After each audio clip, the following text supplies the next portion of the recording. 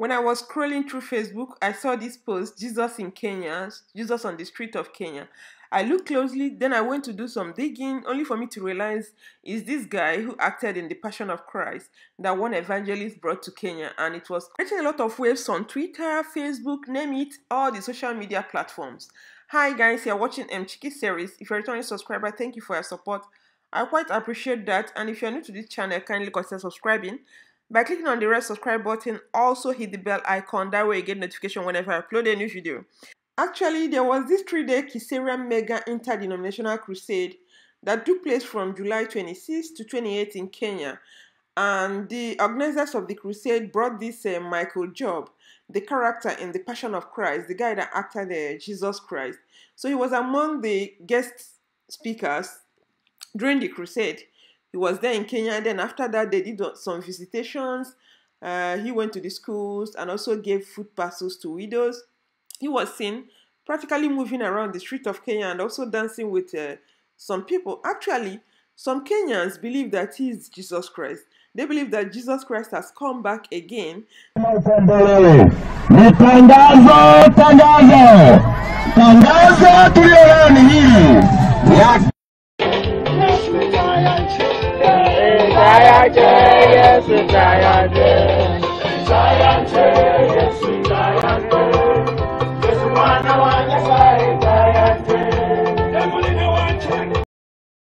Even when I saw it, I just busted out laughing because I couldn't believe that people would be so deceived.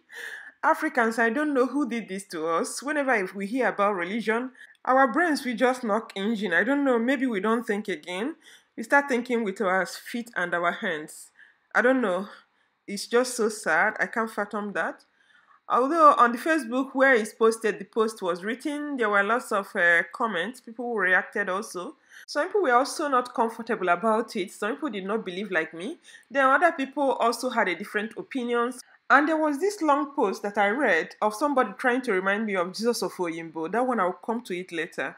But now let's jump into the comment and see what people are talking about this. So this guy said the chief actor the host pastor, and all the members of the congregation that invited him should be cursed. We have only one living Jesus Christ that died and rose up from the dead. He's now with our God, the Heavenly Father, no other human Jesus. So actually, this set me thinking. People actually believe that uh, Jesus has a particular color. I don't know, but uh, do you think Jesus is white or black? Please leave your comment in the comment section below. I would like to know. And this person said, the new Jesus is just a poor man that is looking for people to deceive, I'm sure he can never come to Nigeria. Honestly, sometimes when I read some comments, I don't really know what to make out of it. Because this person that is saying he's sure that he will never come to Nigeria, why would he come to Nigeria? He's looking for his uh, feeding money, he's looking for money. Uh, because he's an actor. So why won't he come to Nigeria? Very soon you will see him there. Because I think he's moving around the world, spreading the gospel as well as making money for himself which is also allowed. To be honest here, Jesus Christ of Nazareth stated clearly, My coming is unknown, and I'll come like a thief. And there are some signs to his coming, and all hasn't completed yet. Visit your pastor or Bible for more clarification, fellows. I think he would have simply put visit your Bible for more clarification instead of uh, talking about pastors because sometimes pastors give their own interpretation different from what the Bible is actually saying. Then you have this lady who said, This can't happen in Nigeria that I come from. One carpenter go just rush one better Iroko wood with some 4 inches nail and hammer. When Jesus see this combination, he go take flight back to Costa Rica where he comes from. Nonsense. Who told her he's coming from Costa Rica? Oh, these people will not kill me with their comments. You people should stop fooling yourself. Which Jesus did you see? Because the one I saw last and this now do not look alike. So where did you now see this one that you are using to deceive yourself? And this lady said, definitely the man will end up like Jesus Oyingbo with his deceitful act. This post just reminded me of the story of Jesus of Oyingbo, the self-acclaimed Christ in Lagos. This happened around um, between 1970s and 1980s. I don't know if anybody knows about this. Please leave comments in the comment section below for me. The guy is just an acclaimed Jesus he made history in Lagos and he acquired and converted a lot of people to his church, wealth, wives, some of whom he acquired very unlawfully. But to my greatest surprise, people even believed him. With all this, people also believed him. That will show you how gullible people are. and he claimed he was the coming Christ. He drew a lot of people to himself, but he died miserably. And following his death, his ministry, family, and all that called his name were scattered and abandoned. I think at a stage, the family were fighting over his property that they eventually settled in court. His real name is Emmanuel Olufunmilayo Odumosu, and the headquarters of his church is in Oyingbo, suburbs of Lagos. And the I think the name of the the real name of that church is Universal College of Regeneration. I think that's what he calls it. He committed a lot of atrocities under the canopy of Christianity. He had these sexual privileges over the wives of his member, in the sense that he can sleep with whoever he wants with, no matter the wife of whoever you are. You know, despite him having a lot of wives, even with his behavior, he still has a lot of followers. He has uh, church members because he was able to acquire a lot of wealth, a lot of land in Lagos, and the land he had a landed property also in the UK.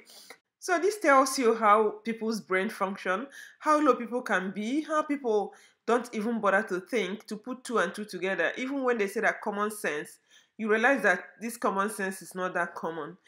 Anyway, when the guy passed on in 1988 at age of 73, some of his members still believe that he's going to resurrect, so they're still waiting till this moment for his resurrection, for his second coming.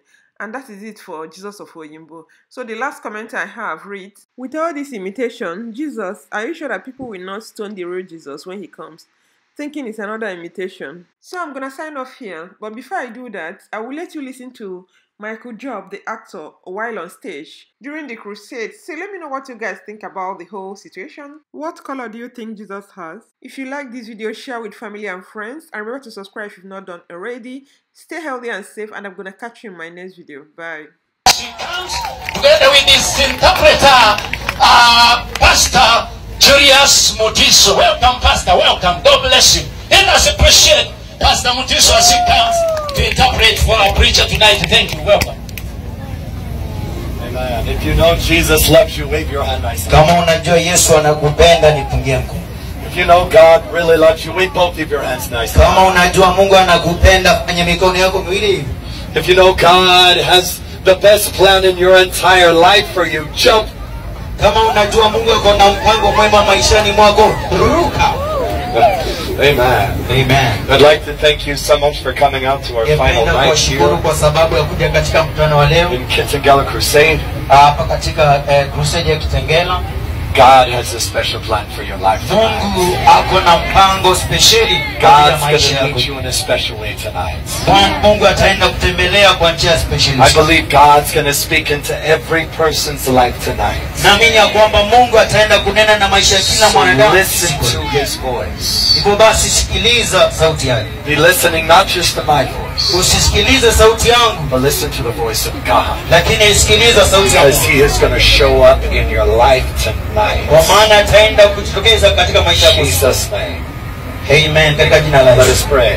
tuombe Heavenly Father, baba yetu wa mbinguni I thank you. You love us so much. nakushukuru kwa maana unatupenda sana Thank you for revealing your love to us. asante kwa kufunua upendo wako kwetu Speak into our lives. nena na maisha yetu Help us to hear your voice. tusaidie kusikia sauti yako Help us to follow your leading. tusaidie kufuata uongozi wako For you are a good Father, kwa maana ni, mmo- baba mwema and you give good gifts.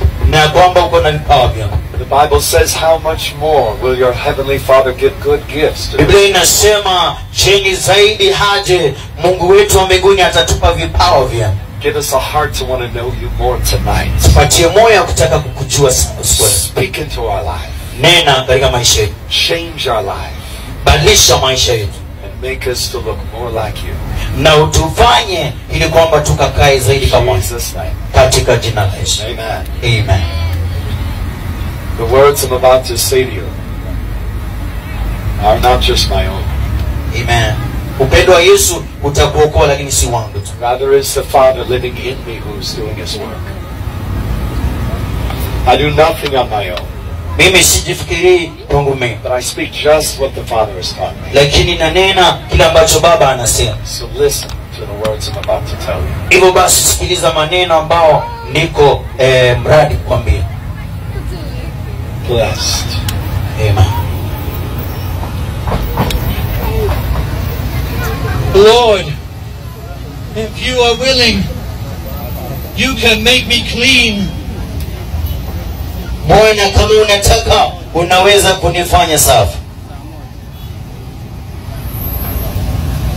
I um, am willing. ninataka Be clean. kuwa safi Be healed. pona Rise. amka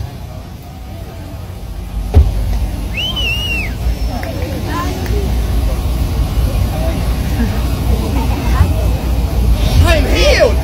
nimepona I am healed. nimepona I am clean. nimesafi nimekuwa I safi am clean. nimekuwa safi